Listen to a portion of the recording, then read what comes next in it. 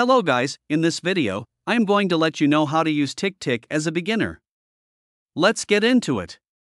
TickTick is a simple and easy to use time management tool. It includes modules for tasks, calendar, Eisenhower matrix, Pomodoro, and habit tracker. You can use it to manage your work and life, achieve your goals in less time, and free yourself from the clutter of to do lists. To get into it, all you have to do is simply click over Get Started. You can sign in using these three options Google, Apple, and Facebook, and you can sign in by giving your email address. I am going to sign in by email address, so I have to add my username and email address, and then enter here a password.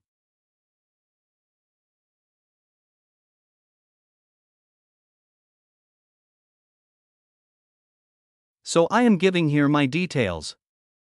Then I will be in it. It will open after a while. So here is the dashboard of the TickTick. On the left side of the dashboard, you will find different editing options.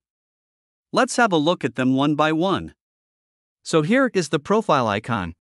And then this is the task option. Then the calendar view. And then the search option here. If you look further, here are the notification options and more. This option is for today's task. You can set your task for today here on the left side. Then you can set your tasks for the next 7 days. Now, this is the inbox here. You can see some of its details here. You have your tags, obviously, you can categorize as many things as you can see, over here, it has already been written there.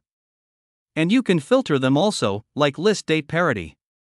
And obviously, tags are also involved in it. You have your computer task will be over here, and the deleted task will be in the trash. Here, you can add any task you want. If you look further, here is the option of custom. You can customize it by group or by sort. If you click on these three dots, a drop down will appear with different options. Now let's have a look at other features, so I am going to click on this profile icon. Then go over the settings. When the settings window appears, you can see a variety of options. If you look at the right side, you will see the premium option here. If you want to upgrade it, you can do it. The next option is features, and then a smart list. Let's scroll down and have a look at it. From here, you can set your privacy against hide and show options. Here, you will change the settings form to show if it is not empty. Now let's hit the notification option here it is, you can change it according to your needs. From here, you can set the date and time. Now here is the appearance option, once you click on it, you will get different options to change the theme. You can change it from default to gray and then dark. I think the gray is good enough. Further, if you scroll down, you will get different options here. Then you can see the more option form here, which will further give you the sub options. And here are further inquiries and imports, then collaboration, then shortcuts, and then the last one is about. Now let's close it. So now we are going to create a list and to create a list of what you need to do, you need to go over here click on the list and you can see it over here. Click on the plus sign, click on it, and click here. You can change the emoji if you want to, like I'm just going with this and HS production. You can change the color of your choice from here. Then you can add a name here, or you can select a new folder. Now add the name of your folder, like, I am going to write here video. And then go over the Save button. You can see, on the left side, a list is created here. Now give here the type of this list. I am going with a task list and then click on Add. Then just add the name of your task in this bar, you can add more than one task here. Now let's go to the filters here. You can add filters of your choice. And from here, you can add the tags. Let's add a tag here. I am going to tag the list by editing names. Then I am going to select a color here. You can add a parent tag, I am not going to do that.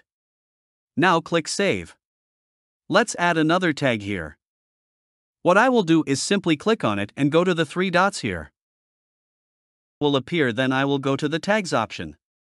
Then add the tag in the dialog box and then click OK. The tag will be added here. Now let's move on to the completed task. If you click over it, you will find it empty. This is my task, enter, and that's it. As you can see, you can add more over here, you can just click on it. It will be completed obviously, and you have more options over here as you can view with this, which is very good. You can just create new sections over here, just write in progress, you can add multiple sections ahead and create them. Now let's have a look at the tasks. These are my tasks. And this is the calendar view, let's have a look at it. You will see different features here. You can select here for months and days. From this search bar, you can search for any of your tasks. So, guys, that was all about how to use TickTick as a beginner. I hope you learned something from this video. If you have any question don't hesitate to take comment down below. And thank you for watching.